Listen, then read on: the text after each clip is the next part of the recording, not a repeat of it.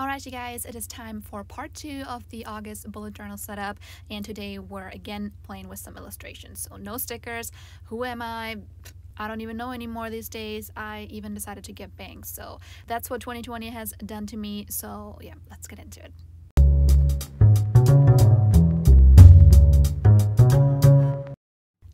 Top of that, as you can see, I am not showing you recording this time. I'm actually planning out these next three weeks in August on camera today. So I thought it would be kind of interesting sometimes to show you exactly how I move my hand and the pencil and so on.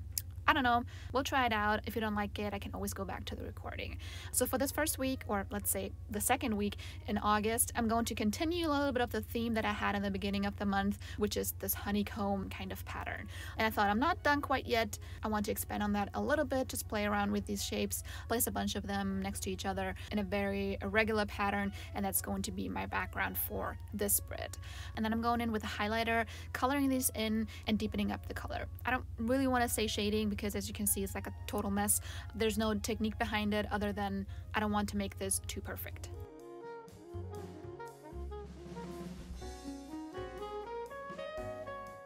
Oh, and by the way, I realized that in my last video, when I was playing with these shapes, throughout the entire video, I called these hexagons, and I just now realized by looking closer at them, they're not hexagons, they're octagons. So there you go. I really don't know anything, so yeah, let's move on.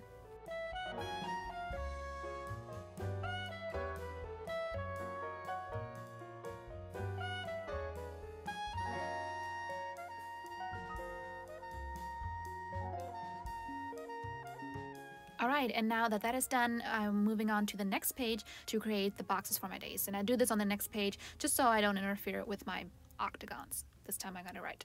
So I wanted to have a white box, a plain blank white box, nothing shows through, but because my bullet journal paper is white as well, I'm coloring this in in a different color for now, so I know what I'm doing, and then I can circle the whole thing, hit color, and change it to white. I always like to do that so I don't get too confused.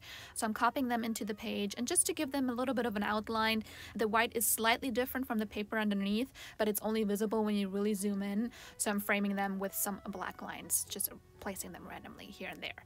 And then all I have to do is put in the days, the numbers, and my bullet points, and you will see I did forget to put in the habit tracker, but later I do remember.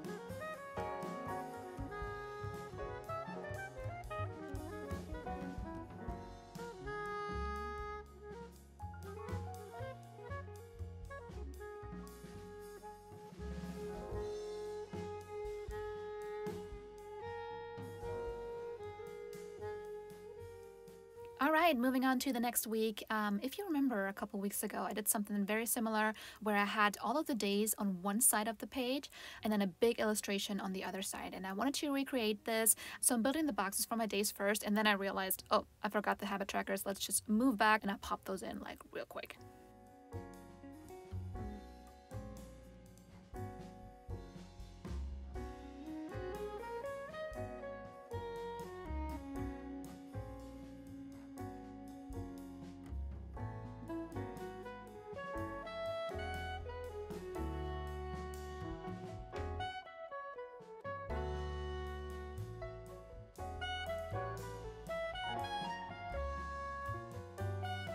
All right, now back to this week. I have the boxes already set up and now I can focus on the illustration on the other side.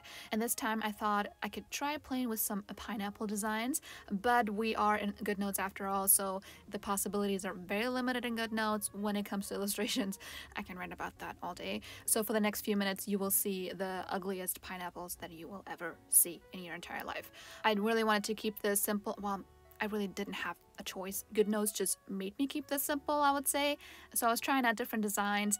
Um, I think overall you can tell it's a pineapple, but I was kind of trying to shoot for that philosophy. If all of them are ugly, maybe the whole picture just looks good again. I don't know, you can see for yourself, uh, but at least I didn't erase all of it. So I guess that's a win.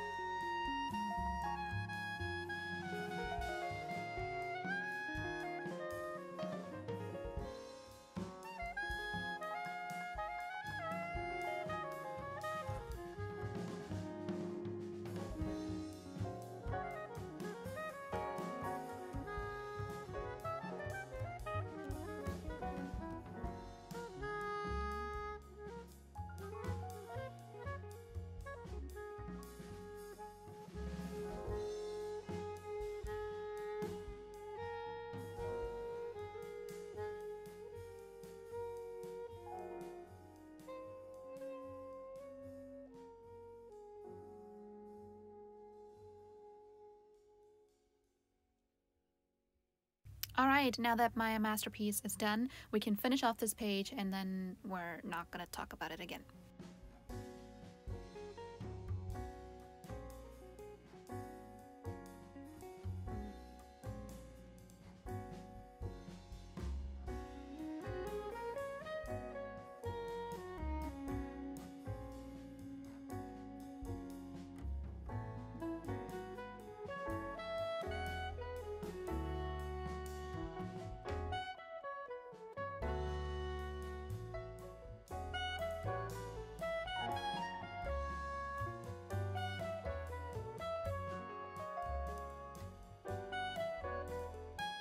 Oh, and of course I have to squeeze in my habit trackers. Unfortunately, in this spread, I can only fit in four, so I ditched the reading one, but you know, that's okay. Sometimes these things have to be left out in order for aesthetics to win.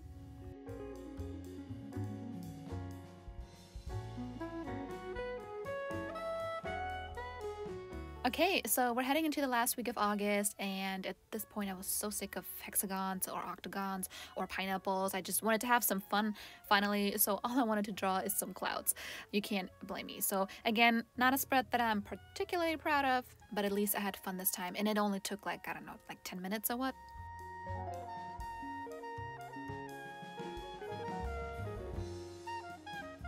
And here you can finally see what I've been talking about all these weeks whenever I'm coloring in with the highlighter. If I want to have an even color, I do not lift the pencil off of the screen. Sometimes, unfortunately, it happens, so I have to undo everything, but this way nothing gets too blotchy.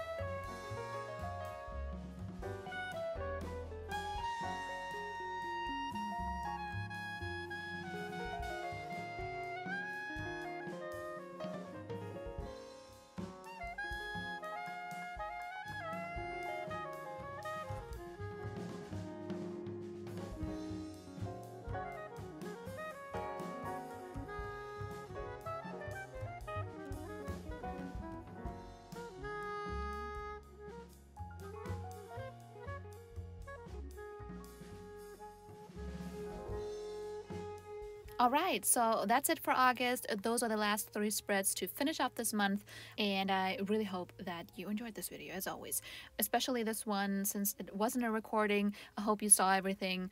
Let me know your thoughts as always, and I'll see you next time.